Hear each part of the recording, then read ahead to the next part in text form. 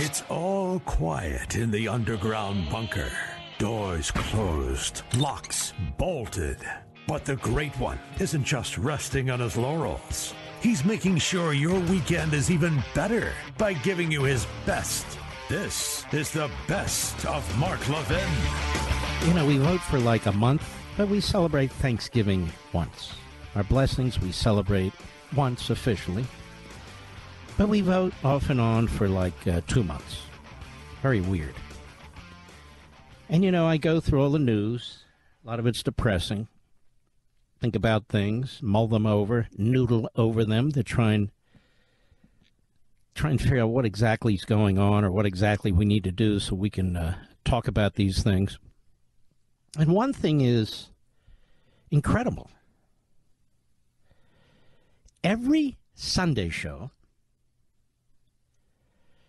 every virtually website, every event is about Trump. Every one of them. Every one of them. And even more than that, they're all pushing to get him indicted. All of them. You have even a very rarely watched show called Firing Line. They stole the title from Bill Buckley uh, with a Yenta who runs the thing, Hoover. Her grandfather, great grandfather, was Herbert Hoover, so she's qualified. And uh, former Attorney General Bill Barr is on there. Now, why do you think he's on there? Does anybody really care what he has to say? No. Nobody cares what Bill Barr has to say, but they know what he's going to say about Donald Trump. And Bill Barr is very, very angry. So he wants to see Donald Trump in federal prison. Think about that. Think about that. And so they think that by bringing him on, that will resonate with the bureaucrats over at the Department of Justice, because after all, he ran that place twice. Then, then over on Deface the Nation, we have Zoe Lofgren. Remember her? Very pretty lady, that Zoe, from uh, San Jose, California. And she says, We're going to release all the evidence, the J6 committee. It's going to show that Trump was the center of the overthrow of the government. Oh, okay. Then they have Adam Schiff on this week. He's just piling on, you know, Moscow Adam.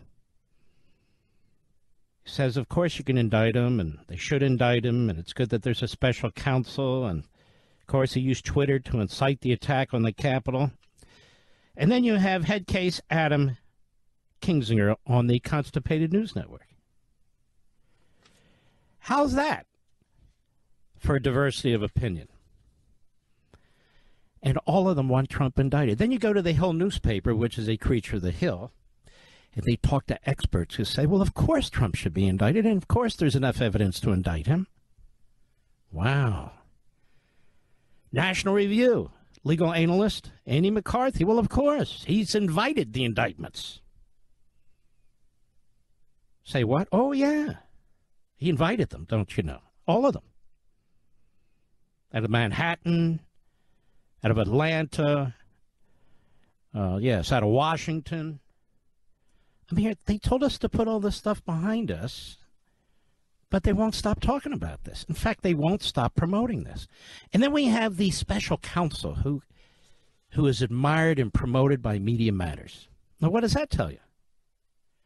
So they must know something about this guy that we don't, but we know a little bit more thanks to independent conservative media. Post Millennial, great site. Joshua Young, wife of Trump special counsel, produced Michelle Obama documentary and donated thousands to the Biden campaign. Oh my goodness. Now, anytime Ginny Thomas does anything, they blame her and Clarence Thomas. Remember? He must recuse himself. Oh my God. But here, we have a special counsel. And remember on Friday when they announced it? Remember when the Attorney General of the United States, Meritless Garland, talked about the man's credentials? Oh, he prosecutes war crimes at The Hague. Uh, excuse me, we're talking about a document case. Doesn't matter. Oh, and he was an assistant U.S. attorney and a deputy assistant associate district attorney, and he was a special prosecutor and a. Oh my God, this guy, he's got the creds. Oh my God. FEC records reveal that the wife of supposedly impartial special counsel Biden Attorney General Merrick Garland's tapped to investigate Trump donated at least $2,000 to Joe Biden's presidential campaign two years ago. On Friday, U.S. Attorney General Merrick Garland announced that Jack Smith, Jack Smith, a veteran career prosecutor, quote unquote, would serve as special counsel to lead the ongoing investigations into Donald Trump being conducted by Biden's Department of Justice. And on Monday, today, records show Smith's wife, Kathy Chevigny, is a high dollar donor, quote unquote, to Joe Biden and contributed to various high profile Democrat efforts. On Twitter, Henry Rogers tweeted a screen grab showing that Caddy, that, uh, what is her name? Yeah, Katy Chevigny, through her production company, Big Mouth Productions, gave $2,000 to the Biden for President campaign in 2020. MAGA War Room on Twitter wrote, Wow, the wife of Special Prosecutor Jack Smith was a high dollar donor to Joe Biden's presidential campaign. Chevigny also gave to anti Semite squad member Congresswoman Rashid Rashida Tlaib. Let me get this straight. So the special counsel's wife gave to Rashida Tlaib, the anti Semites campaign, who's a Marxist? On Gettr, journalist Paul Sperry wrote, Breaking. FEC records reveal the wife of the supposedly impartial special counsel Biden Attorney General Merrick Garland tapped to investigate Trump. Donated at least 2000 to Joe Biden's presidential campaign in 2020. And Katy Chevigny, the wife of newly appointed special counsel Jack Smith, also gave money to Democratic Representative Rashida Tlaib the Islamic member of the radical squad who said of Trump, we're going to impeach the emir. Oh. I'm sure for Jack Reed it was love at first sight. On IMDb, Katy Chevigny is listed as a producer in the Michelle Obama documentary Becoming. Should be called Unbecoming. On Friday, Garland said of Chevigny's husband, I signed an order appointing Jack Smith to serve as special counsel. The order authorizes him to continue the ongoing investigation into both of the matters that I've just described and to prosecute any federal crimes that may arise from those investigations. Mr. Smith is a veteran career prosecutor.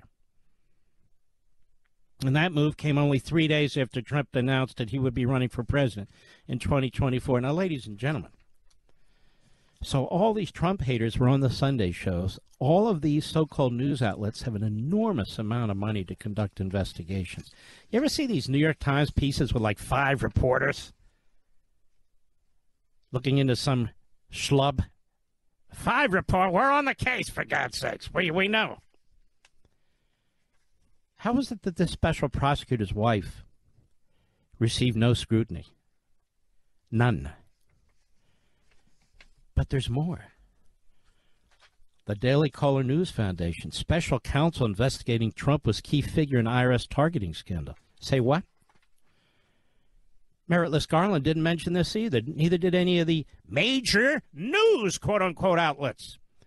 Jack Smith, the special counsel appointed by Attorney General Meritless Garland to investigate former President Donald Trump, was a key figure in the IRS infamous targeting of conservative nonprofits. According to a 2014 report by Republicans on the House Oversight Committee, I would encourage the Republicans in the House to find out how this guy got appointed, Jack Smith, because obviously he's a hack. On October 8, 2010, Smith, then chief of the Department of Justice Criminal Division's Public Integrity Section, that is a big deal. That's where all the investigations of public figures take place or are approved.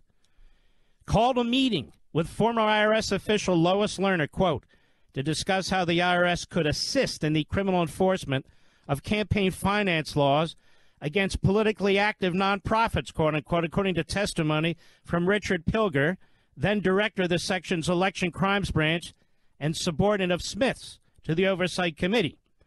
Lerner eventually resigned from the IRS in 2015 following criticism over targeting conservative Tea Party groups when denying or delaying tax exempt status.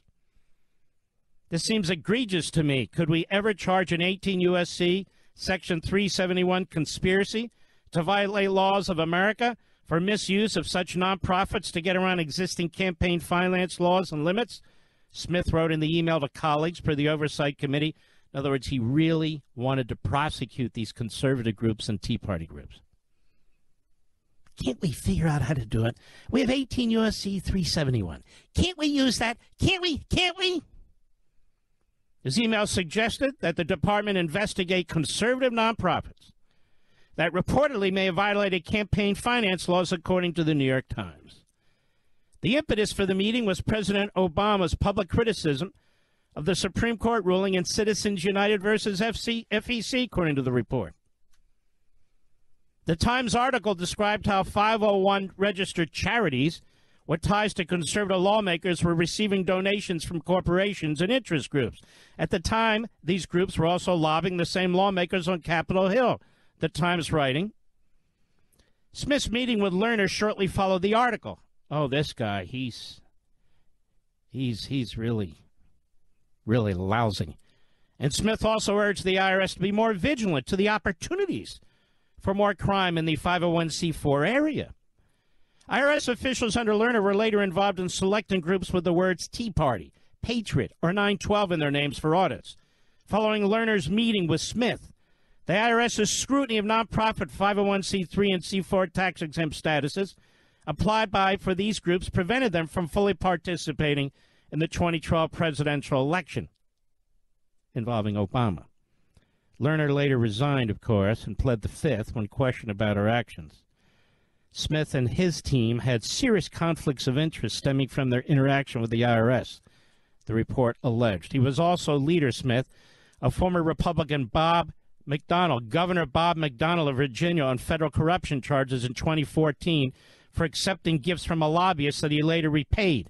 The U.S. Supreme Court unanimously reversed his conviction in 2016, and all charges were later dismissed, though commentators have argued that the conviction stopped him from running for president in 2016. Now, many of you may not know this, even though we discussed it at the time. This was such an overreach to go after Bob McDonnell for taking gifts, which, by the way, was legal in the state of Virginia. It was such an outrageous case that was brought against him that the entirety of the Supreme Court threw it out. Nine to zero. It wasn't even close. That shows you what we're dealing with here in Jack Smith. In his role as special counsel, Smith will oversee two investigations into Trump, one regarding, we know what they are. So here we have a guy, ladies and gentlemen,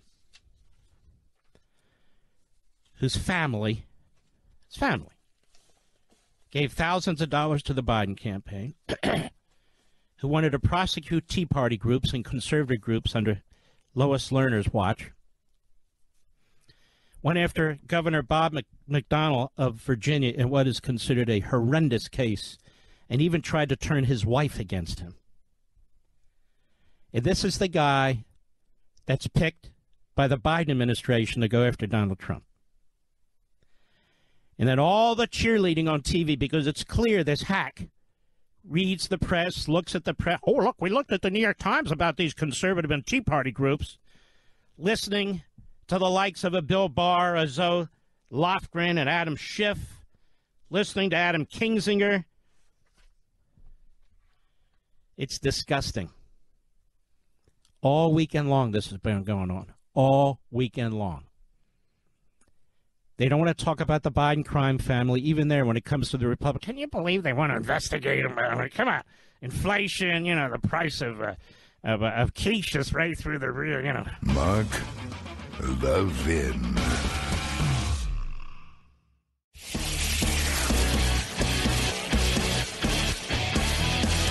Making your weekend even better.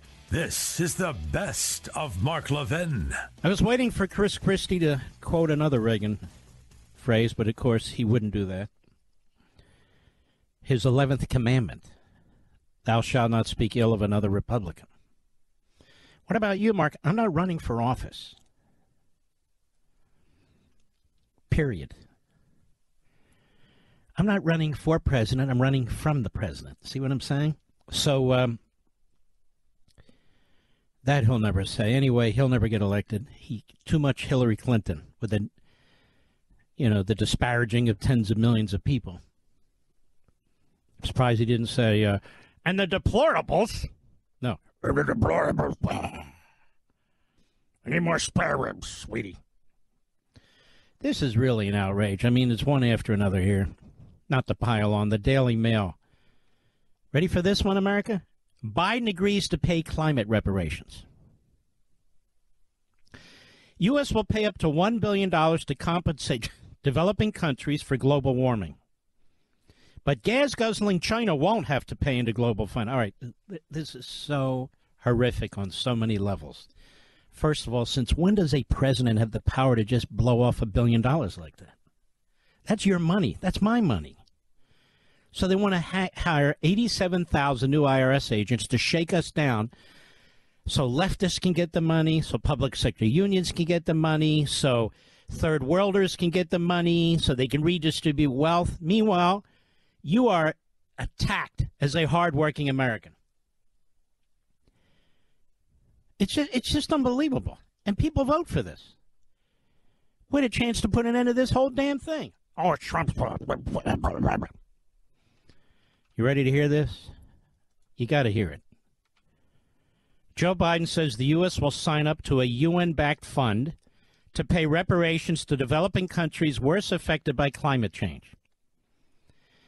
So it, it just never ends. You see, climate change. If you were to ask Joe Biden, what is climate change? He couldn't even define it. What is it? How do they define it? What is it? Well, one degree Celsius in Bolivia, based on our 112 day record keeping score, they can't even define it. It is utterly elusive, but it is their religion, so it doesn't matter. And then you keep going. You've got to constrain what individuals can do. You've got to constrain and destroy capitalism you have to have environmental justice reparation payments. It's just a whole new commie ideology that is Americanized. The creation of the fund was announced on Saturday. It was negotiated at the United Nations COP27, 27 rather, summit in Egypt. Was originally known as a loss and damage fund and had been blocked by previous American administrations. But Joe's out there and he wants to make a legacy America. He is for the little guy while he's destroying the little guy. The nations who'll benefit from the funds are largely from Asia, Africa, Latin America, the Caribbean, the South Pacific.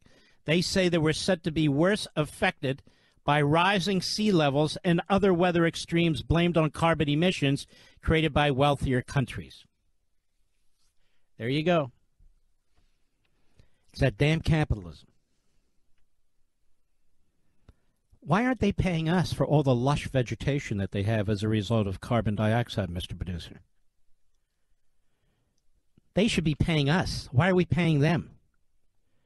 Last year, Biden was granted $1 billion, uh oh, to help developing countries tackle climate change. Although it's unclear if that cash will go into this fund, it doesn't matter. He'll take a billion dollars out of the Defense Department to do that. President also faces uh, having his plans stymied by the GOP majority House, which would have to approve any funding mooted by the White House. But he gets around that. And then he has to have the law catch up with him, remember? Like the student law. All you suckers, all you millennial suckers who voted for Joe Biden because you thought he was Santa Claus. You thought you were going to get free money from the rest of us. Now, what do you think? Bunch of suckers. There'll be wrangles with fellow UN members over who pays what, which could well mean nothing gets done. Yes, let's hope. Donald Trump famously pulled the U.S. out of the 2015 UN Paris Accord on climate change. You know what? That took guts. And it was a great move. He's trying to save the American worker. Saying it represented a bad deal for America. With DeSantis known to share many of the 45th president's views, China, the worst and world's biggest polluter, ready? Wouldn't have to contribute to any global fund because it's still considered a developing nature. Yes, developing ICBMs with nuclear warheads aimed at our cities.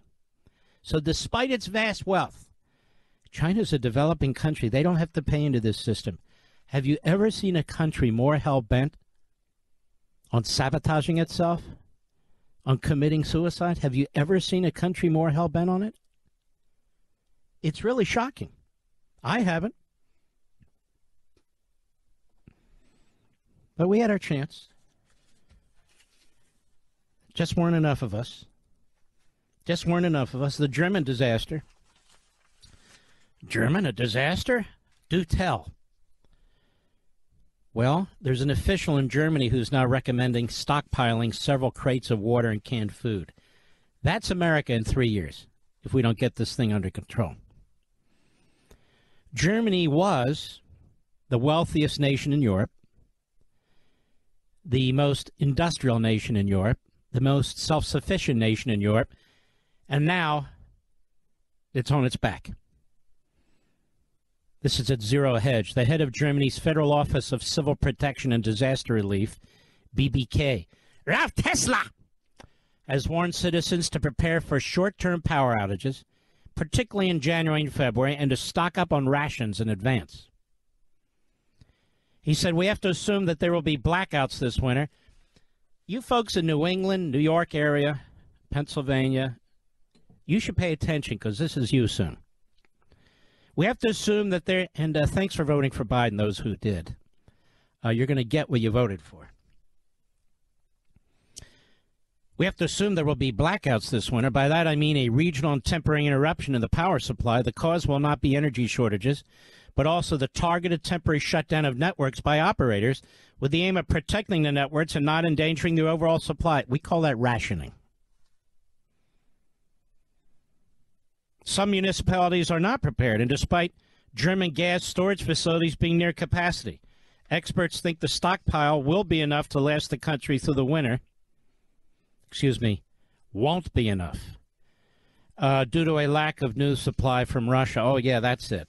Well, in their case, it is because 60%, ready for this? 60% of their fuel they got from Russia.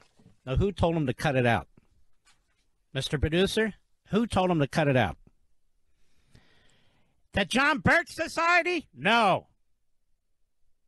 Trump told him to cut it out. Did Christie tell him to cut it out? No. When I think of energy, I don't normally think of Christie. Do you, Mr. Producer?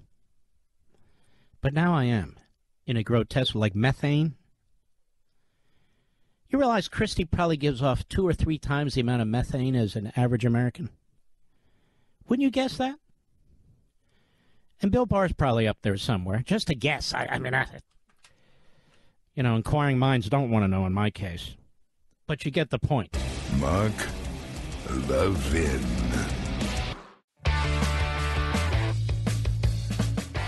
You're listening to the best of Mark Levin. So, who are the conservatives on MSNBC? Anybody know? There aren't any. Who are the conservatives on CNN? There aren't any. Who are the conservatives who write for the New York Times? I'm not talking about columnists. I'm talking about news people. There aren't any. Who are the conservatives that write for the Washington Post? There aren't any. Who are the conservative nightly news network hosts? Are they conservatives? There aren't any. Isn't that amazing? Not one. And of course, there are liberals all over Fox. Walk around Fox, you bump into them left and right. But that's not the case with these other networks. Who, who are the conservatives on The View? Not this Graham or whatever her name is. She's a uh, crackpot. There aren't any. Who are the conservatives on the late night comedy shows, such as they are? Other than Gutfeld on Fox, on the networks I'm talking about. There aren't any. None. Who are the conservatives on the Today Show? Don't give me Bush. There aren't any. Who are the conservatives on Good Morning America? There aren't any. Who are conservatives on the CBS morning show? There aren't any. There aren't any. Who are the conservatives on 60 Minutes? There aren't any. On Meet the Press? There aren't any. There's a few rhino republics. That's it.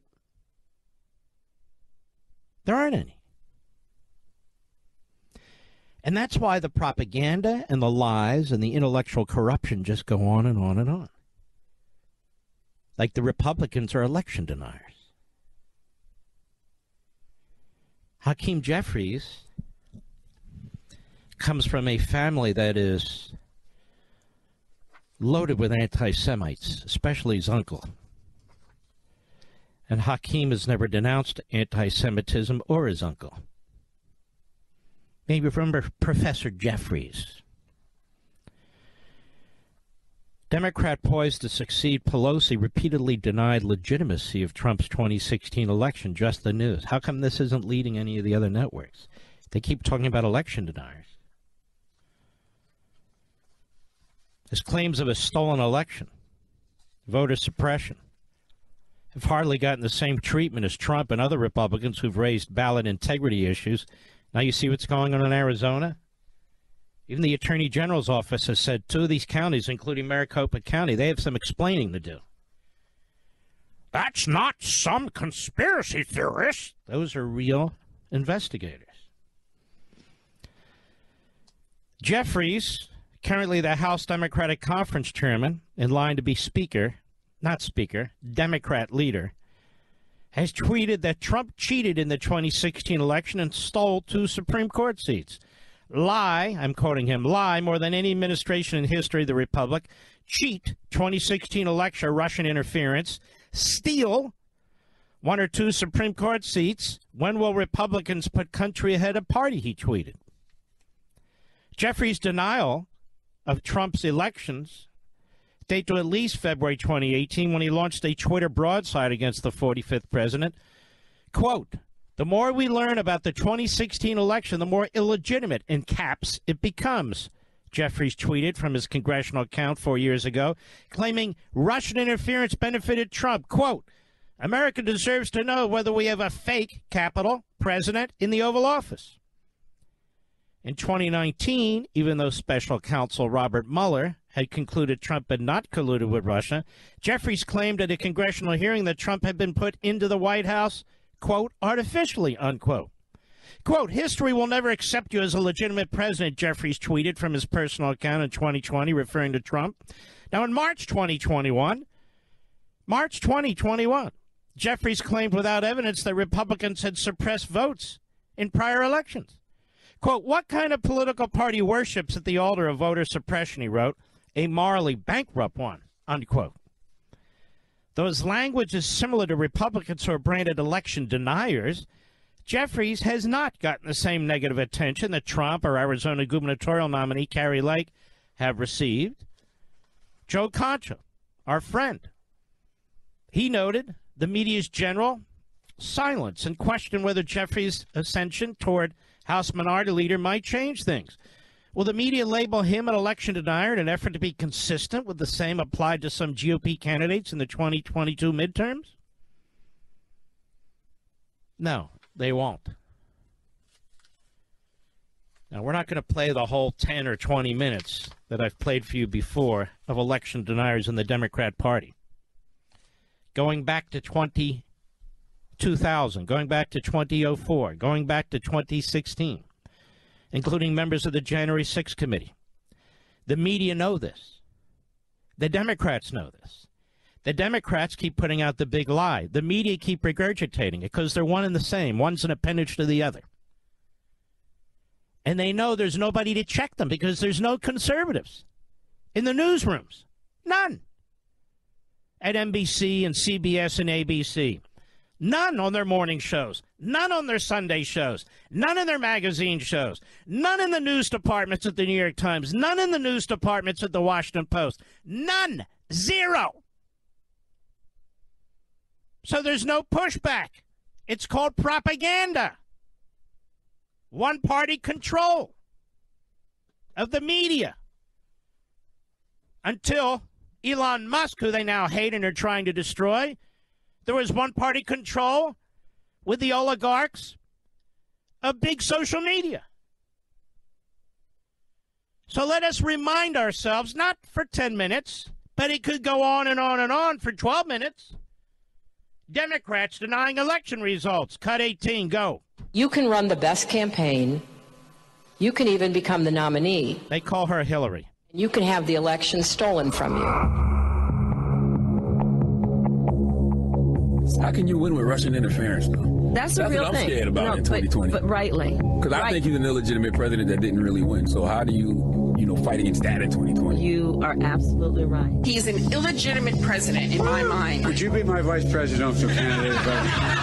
Folks, look, I absolutely agree. Trump didn't actually win the election in 2016. He lost the election, and he was put into office because the Russians interfered. Trump knows he's an illegitimate president. The president-elect, although legally elected, is not legitimate. I don't see this president-elect as a legitimate president. You said you believe that Russia's interference altered the outcome of the election. I do. We have a president who, if in fact it is proven, uh, has been assisted by the Russians and may in fact not be a legitimate president. The one thing that Trump is fearful of uh, when it comes to his being president is that finally we will see how illegitimate his victory actually was. I have an objection. I object to the 15 votes from the state of North Carolina. I object because people are horrified. He's an illegitimate president. Do you believe Trump is a legitimate president? What I believe is that there's no question that the outcome of this election was affected by the Russian interference. But there absolutely is a cloud of illegitimacy. So that legitimacy is in question, yes. So that was a very tainted election. And, and in that sense, it, it's illegitimate. Why do you think the president is going to such great lengths to essentially prove that he beat you? Because he knows he didn't. He knows he's an illegitimate president. Stolen emails, stolen drone, stolen drone, stolen election. Welcome to the world of unprecedented Trump. Did you believe President Trump is an illegitimate president? Based on what I just said, which I can't retract.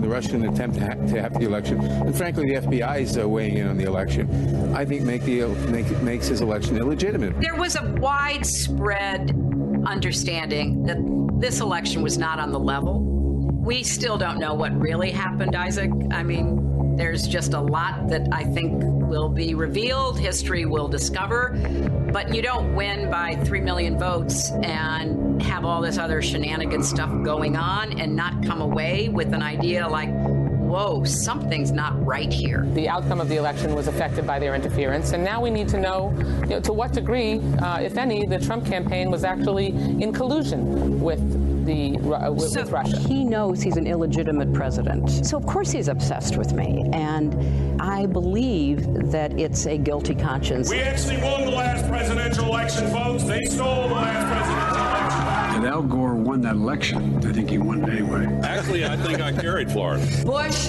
versus Gore.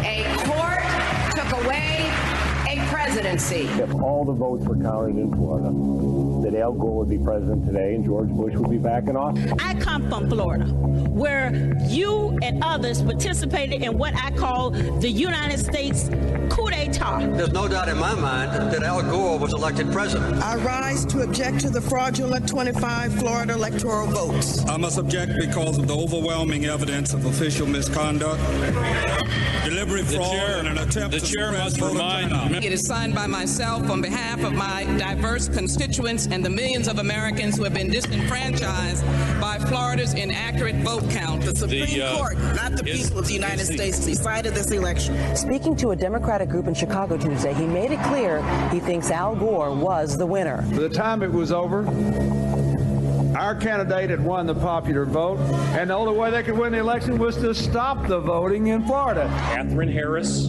Jeb Bush, Jim Baker, and the Supreme Court hadn't tampered with the results, Al Gore would be president. The Supreme Court elected the president. 2004, yeah. Al Gore won the state of Florida in 2000, although not the presidency. But the Supreme Court answered? That's a large charge.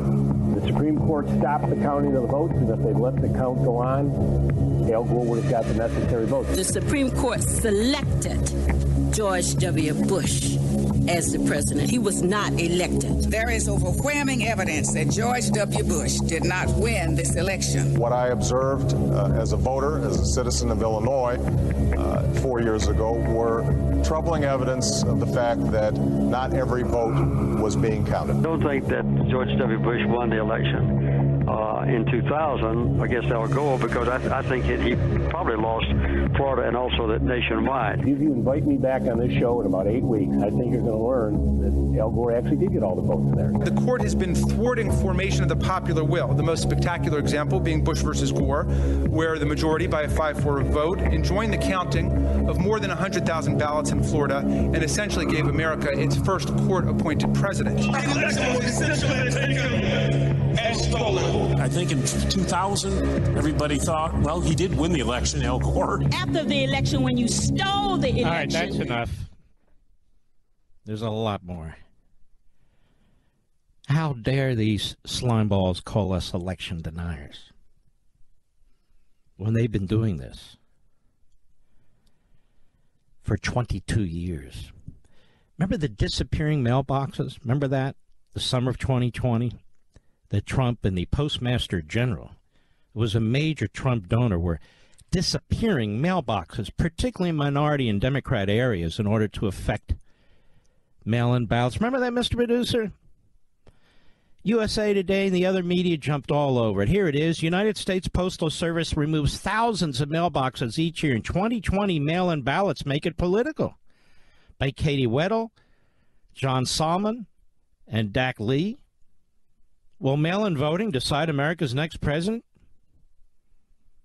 A U.S. postal worker rolled through downtown Columbus, Ohio in late May, stopping to hoist iconic blue mailboxes onto a flatbed truck. Protests after George Floyd's death under the knee of a Minneapolis police officer had taken a destructive turn the night before. In front of the offices of the Columbus Dispatch, part of the USA Today network, a reporter asked the worker why he was taking the boxes. Because of the riots, he told her, and all more than 30 mailboxes disappeared from the city streets that day. Now, they didn't return until August 21, the same day Postmaster General Louis DeJoy testified to a Senate committee about postal cuts. In the meantime, across the United States, missing mailboxes had become a political hot button. I won't make you suffer through that. What was going on is the Democrats and the media were accusing Trump and the Republicans and the Postal Service under the Postmaster General a major donor to Trump, to removing postal boxes in Democrat precincts to affect the outcome of the election. It never happened. That is, there was no political strategy to remove mailboxes to hurt Democrats in Democrat areas. They were looking at the mailboxes that weren't getting used. And so rather than spending money sending trucks there every day or twice a day, they removed them.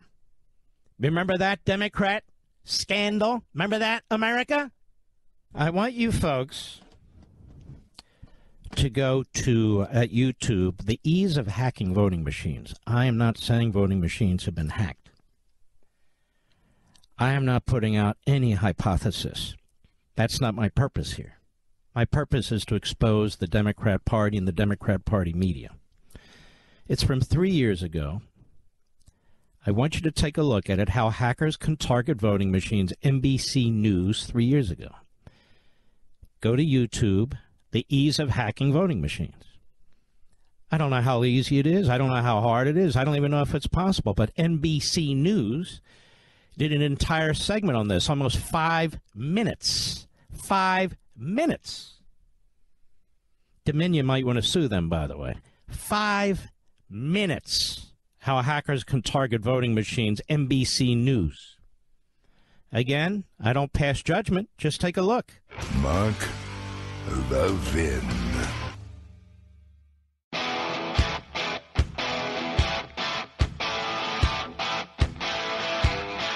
The Great One makes your weekend even better. This is the best of Mark Levin. The uh, Supreme Court today, without opinion, without opining, under John Roberts, um, has ordered that President Trump's last six years of his tax returns are to be presented to the House of Representatives. Now, this is really an extraordinary ruling. To what ends will the House of Representatives, under the Democrats still, use President Trump's tax returns? For political ends. They will leak them. They will try and trigger further criminal investigations. They will bring on phony experts on TV to say this is a violation, that's this, that's that. And it's never ending. And the Supreme Court ordered this. There's a silver lining, not for President Trump, but for the Republicans on Capitol Hill. And I'm telling you, I'm going to hold their feet to the fire. This is no joke here. We're not patsies here. The only thing we are special pleaders for is liberty and the truth. You're going to investigate the Biden family, the House Judiciary Committee, the House Oversight Committee. Then you need to see the tax returns of every Biden family matter uh, member who is in the Biden crime family. Hunter Biden's tax returns, James Biden's tax returns, the rest of the extended family, and Joe Biden's tax returns. Now, I understand being a sitting president and an ex president raises different constitutional issues. That said, the prior Treasury Department refused to release Donald Trump's tax returns. When Biden came in, he waived it, said, go ahead, release them. Now, there are compelling arguments that can be made. I don't like where we are with this, but the Democrats and the courts have brought us to this point. Surely it's more important to know, for Congress to know, given its oversight responsibilities, surely it's more important for Congress to know how the tax code is being used, this is their argument, by a sitting president than an ex president by a sitting president than an ex president. It's more relevant to separation of powers. Donald Trump isn't even in that equation anymore as an ex president. And you should be concerned that now if private citizens can have their tax returns turned over to Congress, nobody's safe. Nobody, including you including you. That's what the Supreme Court did today. Because the the pretext that the Democrats in Congress have been using is we want to make sure our tax code is being used properly, it's not being abused, in case we need to make any legislative fixes, you see. Now, that is preposterous. So they played this whole game in Washington, D.C. The courts, the Democrats in Congress, the Supreme Court. And part of this is because they've tried to make Trump so persona non grata generally that anything goes now. Anything. Anything. Can raid his home, can accuse him of this, get, doesn't matter. Doesn't matter. Again, I'm talking as a lawyer here, okay? I'm talking as a constitutionalist not as somebody endorsing this, that, or the other candidate. So stick with me. You know this. You're in the audience. So now tax returns are fair game. Your tax returns are fair game to hand to political hacks of the opposite party in Congress because now Trump's tax returns are a fair game. If they can get Trump's, they can get yours. Well, he's an ex president, he's a private citizen, period. Just remember, Congress does not have authority to conduct criminal investigations. So these are legislative oversight, which is why the whole thing makes no sense. Legislative oversight of what? An ex president? Now, that argument makes a lot more sense. I don't like where we are, but that argument makes a lot more sense if the Republicans on the House Judiciary Committee, when they take control, if the Republicans on the House Oversight Committee, when they take control, now say, okay, we have a legislative purpose. We want to know if Joe Biden is a crook. We want to know if Joe Biden took money from foreign governments, not just in violation of law, but if it's affecting our national security, if it's affecting our intelligence agencies, if it's affecting our diplomacy. He's the sitting president. The ex president doesn't have any power. The sitting president has all the power. We need to see if this guy was paid off. Well, Mark, he released his tax returns. No, he didn't. He didn't release all of his tax returns. He's got he's set up S corporations. They haven't released those tax returns. Why? Good question. So now everything's on the table. You've got to use the precedent set by the Democrats in the D.C. court system, by John Roberts on the Supreme Court, by the Democrats in the House of Representatives. You now have a massive open field to conduct your investigations. No more attorney client privilege. No more attorney work product. No more confidentiality. No more, oh, they're private citizens. There's no legislative oversight. The Supreme Court just handed it to you. Now, you Republicans, you get the tax returns for Joe Biden, James Biden, Hunter Biden, and every other damn Biden who's on the take. Every damn one of them. You get their tax returns because now you have a right to get them. And while you're at it, you want all of Joe Biden's records with his private attorneys. With his private attorneys. You want all of Joe Biden's records with his tax attorneys. You want all of Joe Biden's records with his personal accountants. You want it all. Just to make sure the Internal Revenue Code, ladies and gentlemen, isn't being abused and it's working properly. That's all. That's all. And if you do anything less, you're useless. Of course, the Democrat Party media and the Democrats are saying, now they want to investigate. You know what, folks? They can shut the hell up. We don't give a damn what they report, what they say, their dumbass Sunday shows, or anything else. We don't care. You got two years in the House to get to the bottom of this. Election victory or no election victory. You have two years to get to the bottom of this.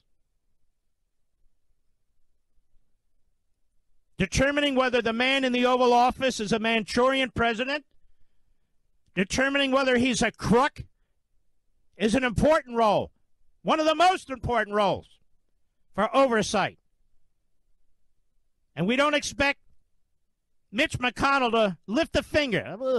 40 yard line. What a 40? Shut up, you idiot. Marble mouth. You're a clown. Everyone knows you're a clown. Except the 36 morons who vote for you. But that's very important. Now, I want to talk about this special counsel. What happened here in this case several years ago about the Republican governor, Bob McDonnell, who had a hell of a political career ahead of him. Bob McDonnell took a lot of gifts. Mostly his wife did too. At the time, that was not illegal in the state of Virginia. Was it wise? No. Did he commit a federal offense? That's the issue. The Public Integrity Section of the Criminal Division of the United States Department of Justice was headed by this guy, Jack Smith. Jack Smith's wife has done a documentary on Hillary, on excuse me, Michelle Obama, and has donated heavily to the Biden campaign. So these are radical Democrats, very, very partisan. You can assume this U.S. attorney or this head of the public integrity section is the same. So what happened? Well, there's a definition in federal law in terms of bribes, official bribes. There's a definition for it in the bribery statutes and the interpretation of it. Basically, it's an official act. An official act done on behalf of somebody as a result of receiving a gift, a quid pro quo. There was no evidence whatsoever that Governor McDonnell had done an official act for anybody, that there was any quid pro quo. But that didn't stop Jack Smith, the new special counsel investigating Trump, from expanding it,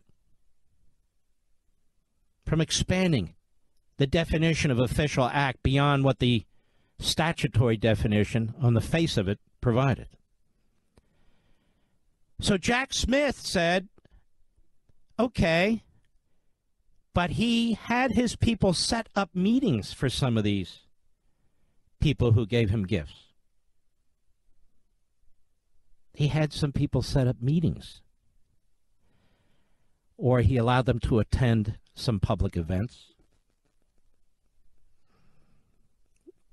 Attend public events. And that is an official act. That is a quid pro quo.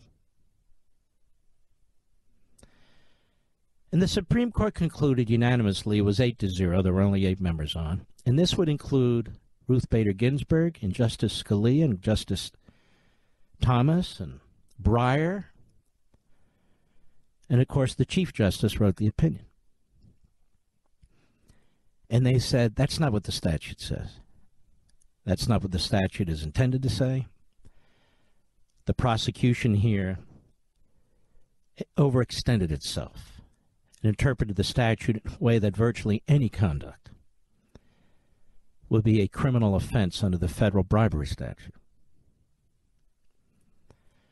And so this broad interpretation of bribery would result in an awful lot of people being charged with federal bribery crimes.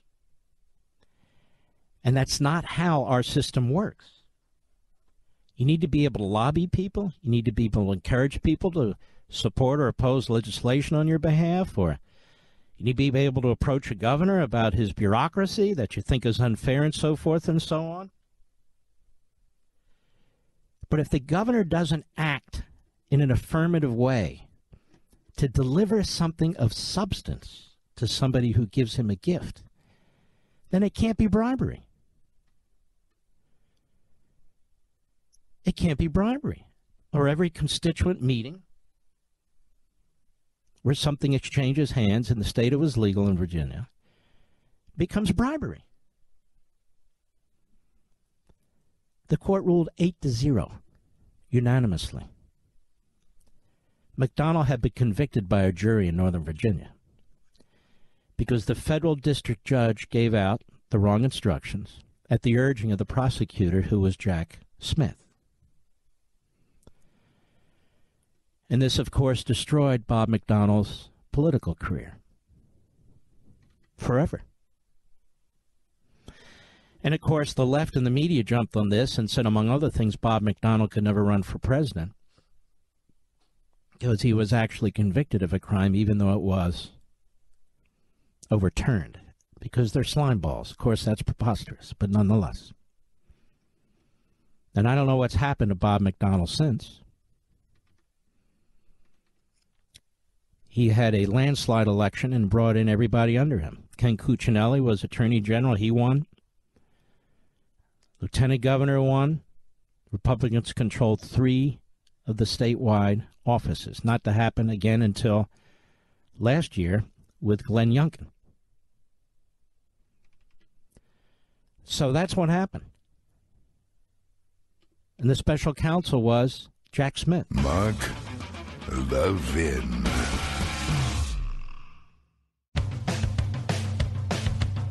We're giving you nothing but the best, the best of Mark Levin. So here's my question for you. You're the Attorney General of the United States.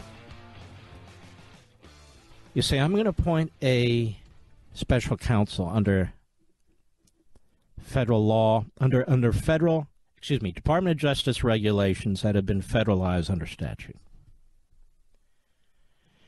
And the reason I'm going to do this is because it doesn't look good if we here at the Department of Justice continue with this case. And he picks this guy, Jack Smith. He can pick from a million lawyers. There's over a million lawyers in this country. And God knows how many former federal prosecutors. They're everywhere on TV. You've seen them. Some dumber than the rest. But that said, he could have literally picked a person who was above reproach, who had sound prosecutorial judgment. But he picks this guy who lost in a Supreme Court case 8 to 0 because he abused his statutory authority and the interpretation of the statute to take out a a promising potential presidential candidate. And you're the Attorney General of the United States. And despite the fact that this guy has this scarlet letter on his forehead, you know he's a liberal.